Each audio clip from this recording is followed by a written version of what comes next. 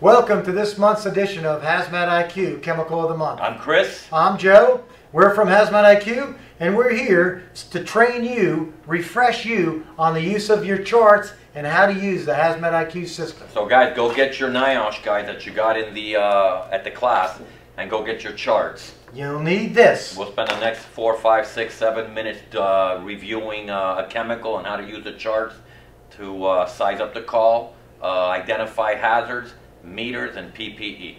This one, this one brings me back to when I was a younger guy and when I used to live in Montana.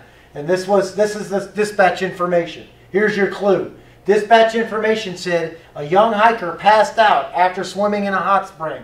His father said the spring smelled like rotten eggs, and when he came back 45 minutes later, he found his son unconscious. So, what's the name of that gas? LSD? Maybe, but not this guy. so look, let's use the system since I don't know what it is.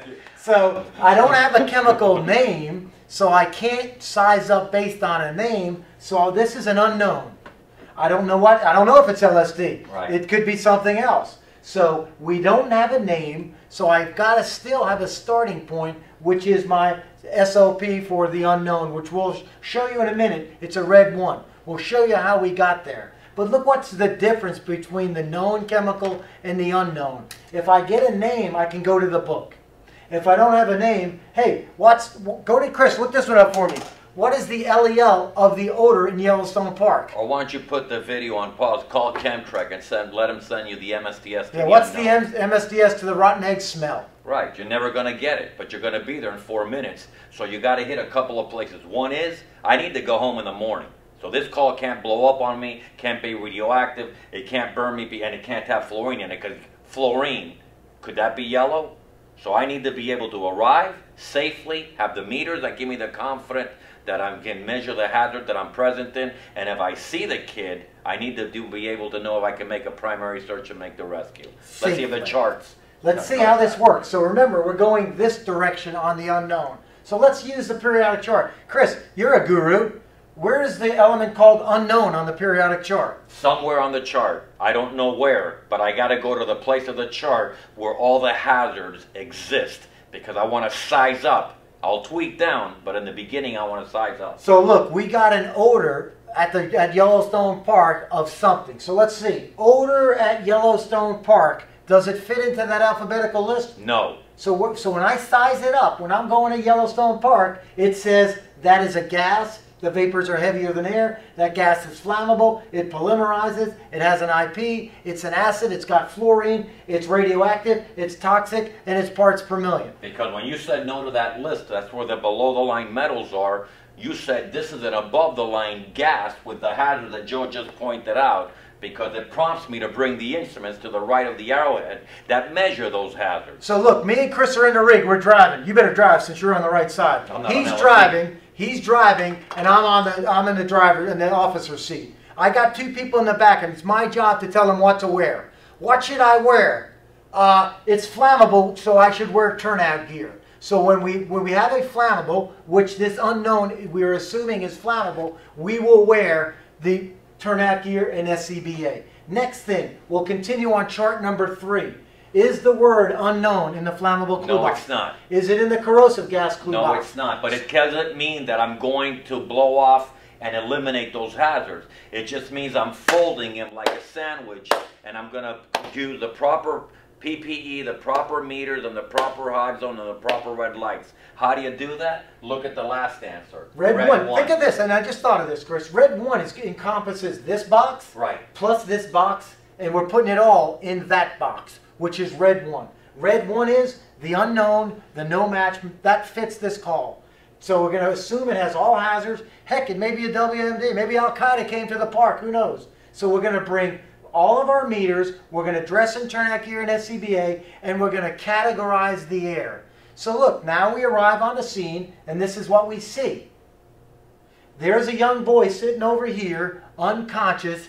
There's this gas or vapor there. What is it? Now do you know what it is? You're the first arriving unit. Hazmat is an hour away. So You're what are you gonna do? boy's Got that? You're his only chance. And What his dad's do? screaming in your ear, Go get my son! Go get my son! What do you do? And more importantly, we can all go in there, uh, Cowboys, and get them, but we want to make sure you're safe. So how are you safe? Well, let's see. We have red one. We bring all of these meters, and what's my mission on this one? Line of sight rescue.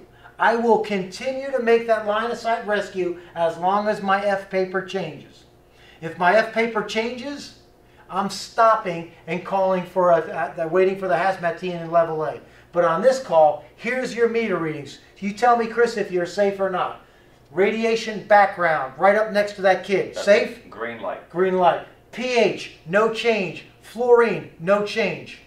Green light. He's making a line of sight rescue. Does he need to look at anything else? No. He's going in. As he's going in, Chris, you look, uh, you got 2% of the LEL. Can you do it? Even if I got 12% or 100%, the fact of the matter is I've made a commitment on a primary search on a line of sight rescue where the only hazard that could really kill me and that child is fluorine.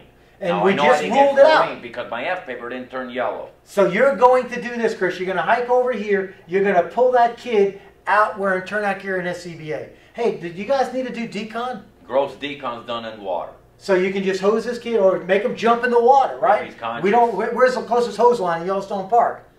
There is no hose line. Jump him in the. How are you going to clean your gear? I want to clean my gear in water. Jump in the water. So there's the kid, been rescued, taken to the hospital. Chris, the chief gets on the air. Uh, Yellowstone Command to Chris Aguirre. What is it? The only thing I could give him was just like you when you're transporting a patient to the hospital.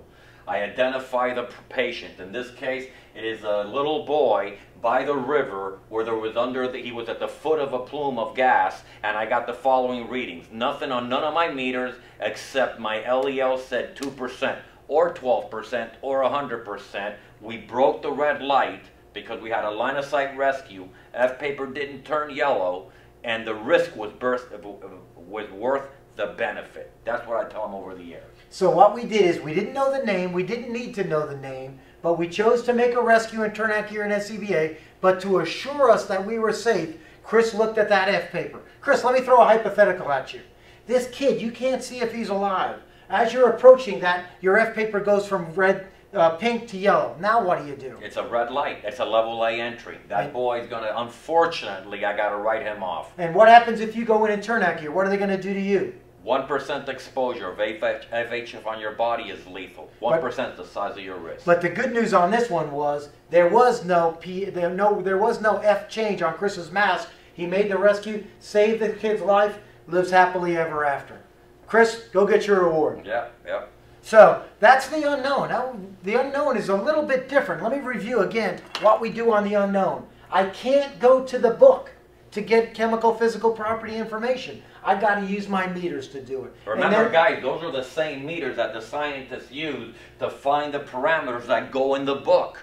Hey Chris, do my red lights change whether I know the chemical name up here No, or if I does don't know the chemical It name? does not. So the red lights remain the same, known or unknown.